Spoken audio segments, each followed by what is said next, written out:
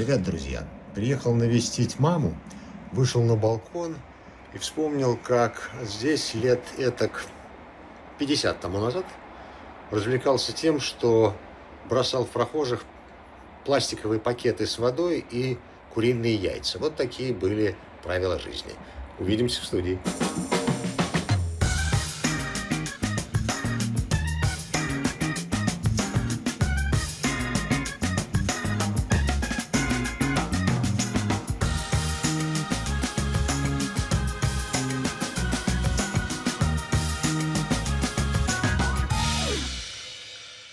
Вот что говорит наш следующий эксперт. Я занимаюсь историей архитектуры, и мне любопытно изучать чистую творческую волю, которая возникает, когда архитектор не находится в ситуации жестких ограничений со стороны заказчика, а может создавать что-то совершенно фантазийное. Рад, здравствуйте. Здрасте. Ну, вы узнали, наверное, автора да, да, да, этого это текста. Я. А, итак, «Города утопии», вторая серия. Да, в прошлый раз мы с вами говорили о э, тех идеальных городах, которые люди придумывали с древности до, сегодня, до начала 20 века, до конца 19-го, и остановились на городах-садах. Да?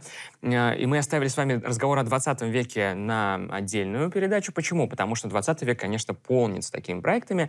И вот я как раз хочу от городов-садов перейти к такой следующей этапной идее — у нас на картинке скорее завод, а не город. Да? Цементный завод какой-то. Да, скорее металлургический. Металлургический, да. Печи. Вот эти, да? Угу. А на самом деле на заднем плане здесь город, и это проект французского архитектора Тони Ганье, который он создал еще в 1904 году, в самом начале 20 века. Он называется «Индустриальный город» или «Промышленный город».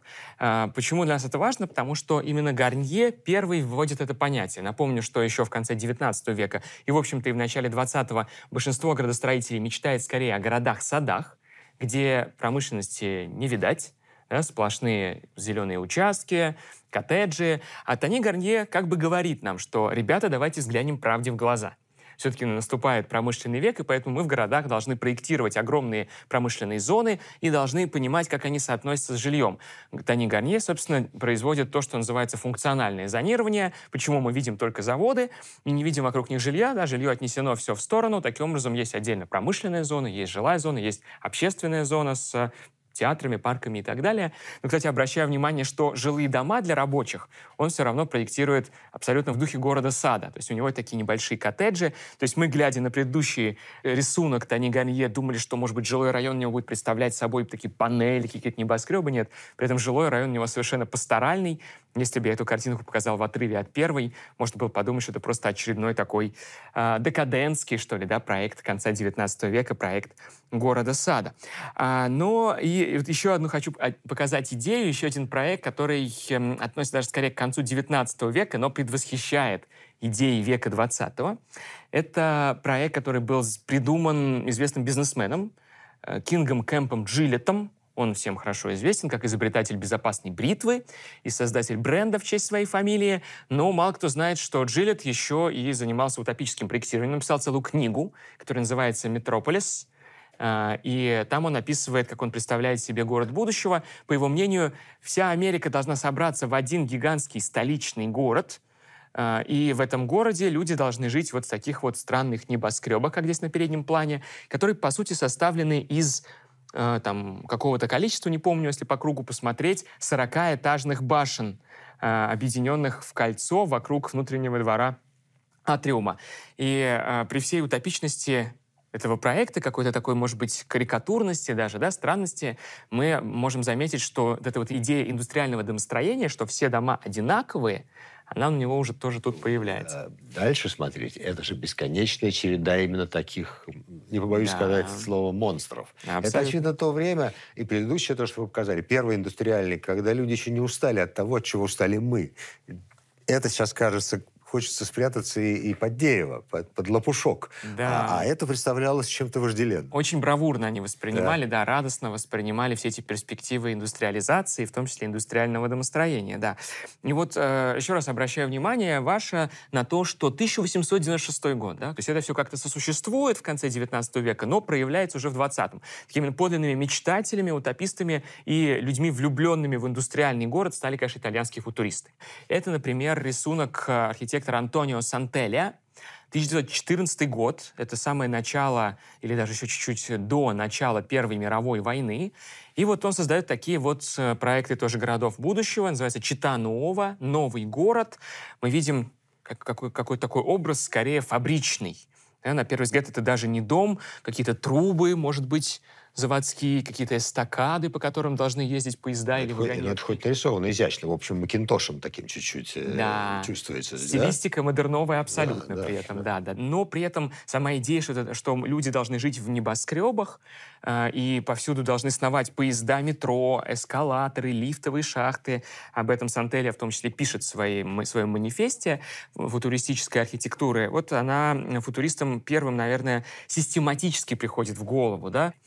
А, ну, кстати, наши русские, вот не случайно я вспомнил русских футуристов, эм, и именно поэтов, потому что наши поэты первыми стали мечтать о городах будущего. Я показываю вам рисунок Велимира Хлебникова. 1915 год, да, еще до революции, он э, пишет трактат, который называется «Мы и дома». И в этом трактате он э, предлагает такую идею – строить в городах металлические каркасы, а жилье создавать в виде стеклянных ячеек, которые будет вставляться, встраиваться в эти каркасы. И таким образом, если вы хотите переехать в другой город, то кран вынимает вашу ячейку, ставит Со на всеми пожитками. Да, вы вместе со своей квартирой переезжаете в другой город. То есть вот он стал пионером идеи мобильного жилья, а, о котором сегодня тоже много говорят, еще в 1915 году. И, конечно, вот про русский авангард, конечно, Лазарь Лисицкий с его горизонтальными небоскребами тоже стремился поднять поднять здание от земли. Вообще вот эта идея взлета, да, оторванности от земли, устремленности в небо, она одна из основных для авангарда. Ну, довольно тоже такой растиражированный проект э, Георгия Крутикова «Летающий город» 28 -го года, где он достаточно детально прорабатывает проекты летающей архитектуры. Это же был его дипломный проект, у него вполне приняли его. То есть вот представьте себе, что вы на защите диплома представляете, вы архитектор, тем не менее, на защите диплома представляете проект летающего города, вам спокойно ставят пятерку, отправляют Летающий, да. да. Санитаров не вызывают, а просто относятся к этому серьезно. Да, да, да, относятся к этому совершенно серьезно, да. Но напоследок хочу сказать, что все-таки не только такие технократические были проекты. Например, немецкие экспрессионисты мечтали скорее о таком величественном каком-то, да, вовсе не типовом, а наоборот очень торжественном городе. Вот это проект 1919 года Бруно Таута, немецкого архитектора, называется «Корона города», Штатскрон, и мы видим, что город, он, тут не совсем понятно, он проектирует город в виде правильного круга, в который как клинья с двух сторон врезаны парковые зоны, а в центре величественное в виде пирамиды, такой немножко мезоамериканской, да, ацтекской пирамиды, здание администрации. Ну и, конечно, отсюда уже недалеко до э, таких э, проектов, предназначенных к воплощению в 30-е годы, например, проекту города Германия, столицы Объединенной Германии по мысли Гитлера, да, значит, с его прямыми проспектами огромными и огромным куполом, который должен был стать самым большим в мире. Это Альберт Шпеер, архитектор Гитлера, такой главный, да. Ну и в этом же ключе, конечно, сделан и э, сталинский генеральный план Москвы 1935 года Владимира Семенова и Сергея Чернышова. То есть не только все-таки были мечты о летающих городах или о типовом жилье, вполне в 30-е годы, как один из сценариев, и даже, как, как мы видим, такой наиболее вероятный сценарий, рассматривался скорее идея очень консервативного, статичного и иерархически выстроенного города, как идеальный город как полет э, художественной мысли бесценно абсолютно. Понятно, что мы не уместились, вот это совершенно очевидно, дошли до, только до Второй мировой, поэтому, скорее mm-hmm. всего, мы все-таки продолжим в следующий раз. Спасибо вам большое. Спасибо. Спасибо, Аят.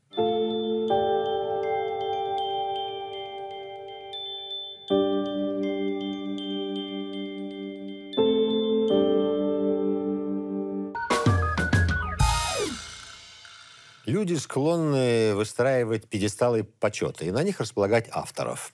Так им проще, потому что тогда не обязательно иметь собственное мнение. Пушкин, Толстой, Достоевский, Веласкес, Рембрандт, Энгер, Моцарт, Бетховен. И тут стоп. Ляля, здравствуйте. Здравствуйте. А, кто ваш сегодняшний герой? Мой сегодняшний герой эм, композитор, который, наверное, самая крупная фигура в музыкальном мире Венгрии второй половины 20 века, да и вообще во всем европейском музыкальном мире после войны. И композитор, музыка которого знакома гораздо большему количеству слушателей, чем те, что догадываются об этом, потому что ему повезло в какой-то момент оказаться эм, частью саундтрека к очень известным фильмам. И вышло так, что музыку Лигити знают больше людей, чем знают его фамилию. Когда мы говорим венгерская музыка, ну вот э, что вы себе представляете, когда мы говорим музыка Венгрии? Чардаш, конечно. Что же вот. мы можем представлять? Примитивно. Да, давайте послушаем, чтобы э, ощутить громадную дистанцию между Чардашем и тем, что является собой Лигити.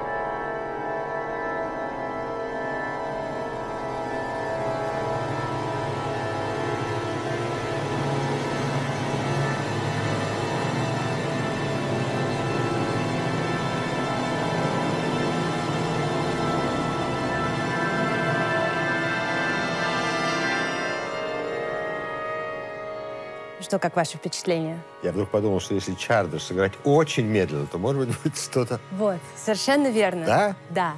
А, эта музыка представляет собой как бы музыкальный процесс, где не протекает время. Я думаю, что если практически любую композицию сыграть и замедлить ее в какие-то десятки и сотни раз, у нас получится вот это совершенно статичное, как бы превращенное не в процесс. Мы привыкли к тому, что музыка, она нарративна, она процессуальна, она рассказывает какую-то историю. Не в процесс, а в объект, превращенное музыкальное конструкция, внутри которой происходят какие-то изменения, но они так незначительные и медленные, что почти не считываются нами как повествование. И мы как бы погружаемся вот в этот непрерывно расширяющийся, сжимающийся, какой-то внутренней жизнью живущий звуковой кокон, за которым мы совершенно завороженные наблюдаем. Ну, я бы предположил, что это плохонькое, я имею в виду, качественное, качественное по звуку исполнение, если бы это было на, живым или на серьезной э, звукопроигрывающей системе, это было бы, конечно, колоссальное впечатление. Да, эта штука производит очень мощное, очень мощное впечатление, Такая особенно вибрация. в купе с видеорядом. Вот мы, конечно, понимаем, что это что-то неземное, что-то паранормальное, что-то какой-то чужой. И также подумал Стэнли Кубрик, когда услышал музыку Лигити. А, тогда эта музыка была очень новой. Кстати, как вам кажется, вот а, она производит впечатление современной или эм, классической? Вот по ощущениям. И, вот, ну, наверное, раз она на меня действует, и сразу, ну, наверное, современная. Это удивительное свойство этой музыки 60 лет. А, Стэнли Кубрик в культовом своем фильме «Космическая Одиссея-2001» задействовал музыку Дьорди Лигити, в результате чего это сложное имя венгерское, и эту очень сложную музыку узнали люди во всем мире.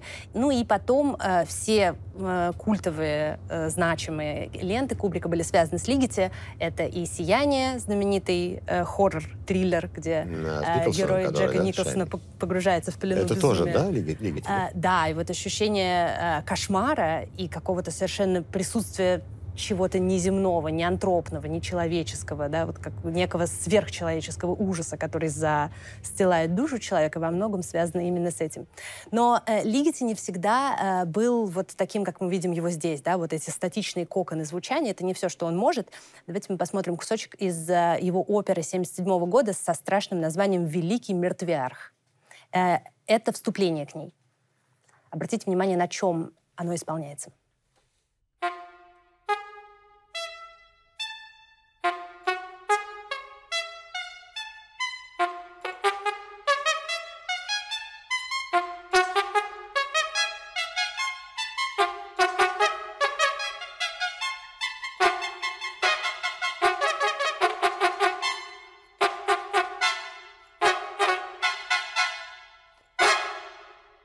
Понятно, да, что это автоклаксоны? Я, да, я сегодня просто простоял в пробке просто большой, поэтому у меня эта игра на клаксонах, она близка. Да, вот обратите внимание, такое фарсовое начало и очень смешное начало у оперы, которая называется «Le Grand Macabre», то есть «Великий Макабр». Mm-hmm. А, и опера рассказывает о помешанном на смерти тоталитарном диктаторе, каких и 20 век, и сам Лигити э, знал немало. Э, Лигити на самом деле человек очень трагической судьбы, потому что он венгерский еврей, и вся его семья, за исключением мамы, погибла в концентрационных Лагерь, лагерях да. во время войны. Потом, когда установился коммунистический режим в Венгрии, он в обстоятельствах, которые больше напоминают авантюрный роман, бежал из своей родной страны несколько дней, скрываясь в почтовом вагоне под мешками с письмами в Австрии, и так да, далее. Они Совершенно уже верно. с женой, да, эмигрировали? Да, да, да. Бывает, когда человек много испытал, а, он а, выплескивает в каких-то таких действительно буфанадах и, и в гротеске. И находит себе силы над этим смеяться. Вот э, вообще любовь Лигити к абсурду и к веселью, и к жизнелюбию поразительно в купе с трагизмом его биографии, особенно ранней. Ну и последнее хотела вам э, маленький кусочек показать. Это уже работа 80-х годов. Э, вот здесь э, еще один виток творческих интересов Лигити, то есть не только атмосфера звукового хоррора, не только трагифарсовая сторона его дарования, но и интерес к двум вещам. Это традиционные сообщества и их музыка, это коренное население эм, Африки, вот центрального ее района, который не тронут городской цивилизацией. Это Меланезия, это Китай, это Корея. И очень сложные, совершенно не соответствующие европейским нормам ритмические процессы, которые протекают в этой музыке. И вот он эм, э, конструирует в работе, которую мы сейчас с вами послушаем, безумно замысловатые ритмические процессы, которые, с одной стороны, подключаются к какому-то доцивилизационному ритуальному миру, а с другой стороны, действительно, как ритмический фрактал такой образуется. Вот э, послушайте.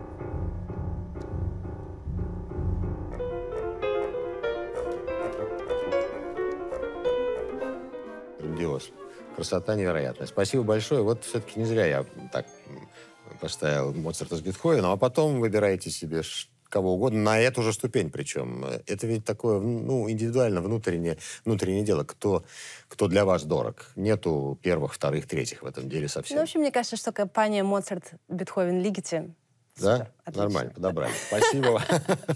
Спасибо вам большое. Спасибо вам. Спасибо, Ляля.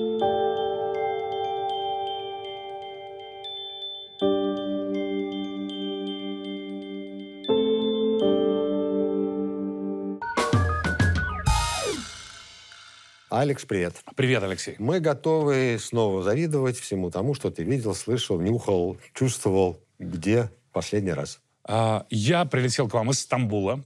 Я там, наверное, уже раз 30-й. Я обожаю этот город, но впервые увидел его настолько вот, мистически. Спасибо.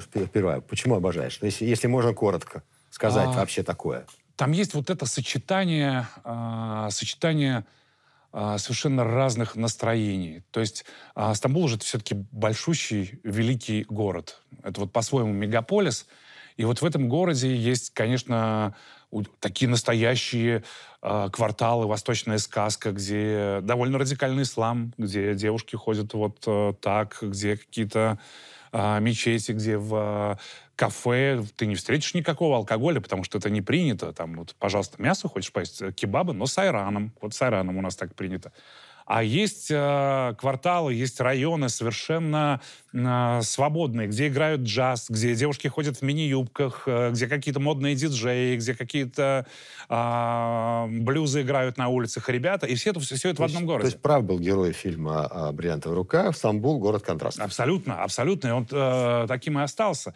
И вот этот контраст, кстати, очень интересный. Вы же знаете, что это есть европейская часть э, Стамбула и азиатская. Вот а, азиатская — это просто разгул и расцвет демократии и свободных нравов. Вот там как раз э, настоящая веселая жизнь там, свободная Стамбула.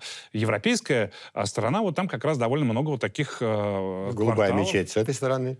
А, голубая мечеть... Нет, мечети там везде, их там почти тысяча мечетей. Ну, вот там исторические какие-то кварталы, а София, голубая мечеть, это все Европа. Ну и вокруг вот такие вот э, а, районы, такая, где проходит так легко, но ненавязчиво, но проходит такая исламизация.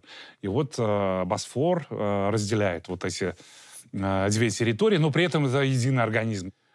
Понимаете, я вот сейчас шел по Стамбулу, а, и у меня телефон, я выключил роуминг, чтобы не беспокоил. Тут звук смс тут звук смс. Что ж такое? Неужели я забыл отключить роуминг? Я иду по улице э, Истекляль. А оказывается, что а, мой телефон помнит пароли Wi-Fi из этих близлежащих кафе. Вот там я пил кофе, зачекился, там пил чай. И он подключается, Да, а, а прошел год. Ну, не удивительно ли?